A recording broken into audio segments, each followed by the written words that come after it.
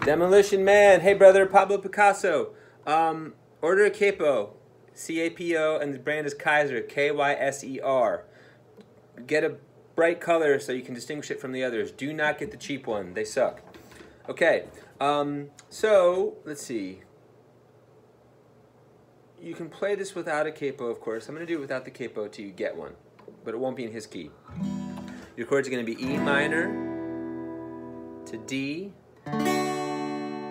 and then I want you to play D sharp diminished. So move the D shape to the D string at the first fret and then add your pinky. This is a sweet chord change that guitar players love because it feels like the same thing with a very different chord. So you're to do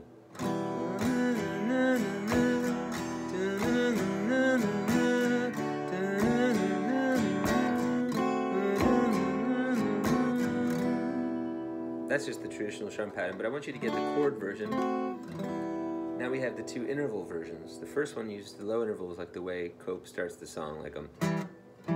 And he has three note voicings, but I want to keep yours simpler. So this is a minor third on E. It's the seventh fret A string, fifth fret D string. It's just a two note pair, like a power chord. In fact, I'm going to switch the next one to a power chord. Is one thing I've changed after listening to it again.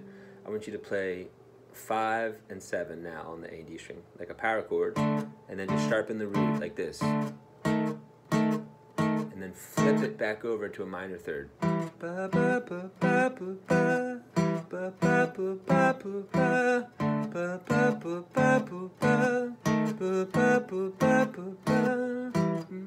Okay, and then those high notes are also based in thirds. Okay.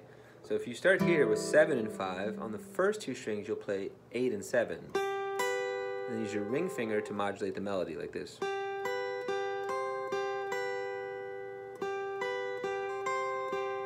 And then just flatten your first finger so they're both at 7. And it's the same embellishment with the melody.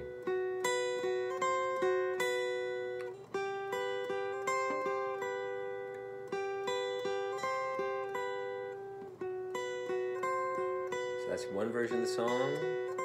Then you have the.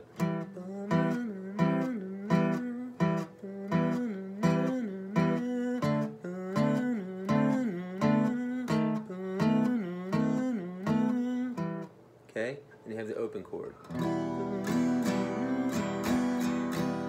D, and then D sharp to diminished.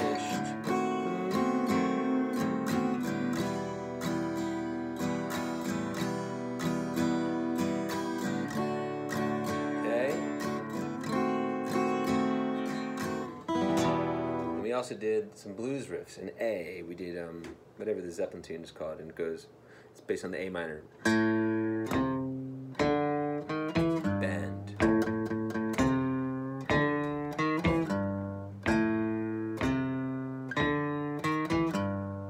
It's literally just the A minor blues scale.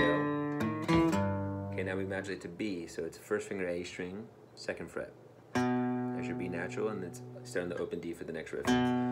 Oh, two, three, four, oh, two, two, two, two, oh, two, three, four, oh, oh.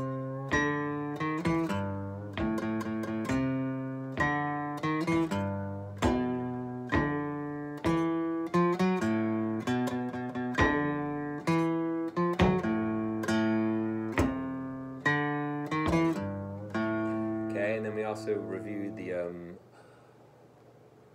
Stevie Ray Vaughan riff, which is a blues in E that went real standard E groove. So it's oh oh three four two two four two. Gonna repeat that on the four chord. Back to one. And then for the five, you do the slide from the B. You're ready on B, and you go. Again. Open A. Open E.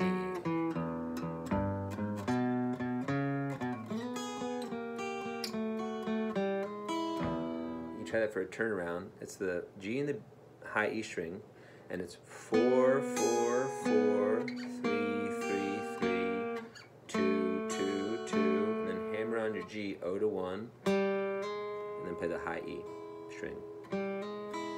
So the turn on is triplet, triplet, triplet.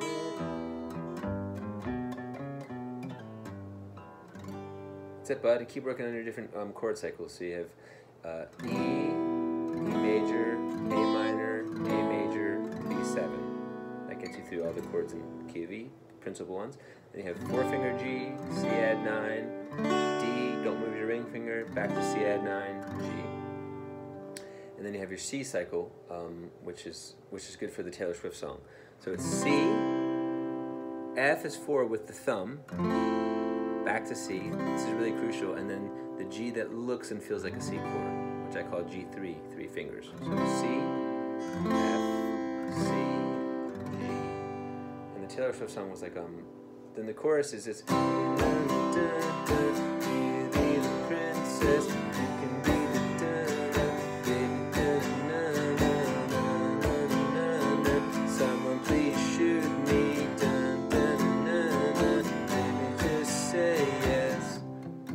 Verses and the pre-chorus have this like eighth note downstroke feel.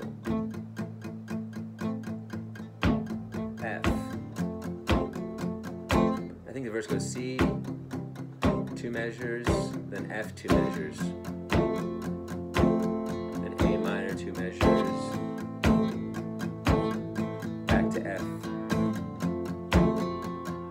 Just use the chart because there's little variations that are important. But anytime the F goes to the G quickly, you can take your thumb F and just move it up a full step, and then resolve to C. Or you can actually shift your hand into the shape of that G.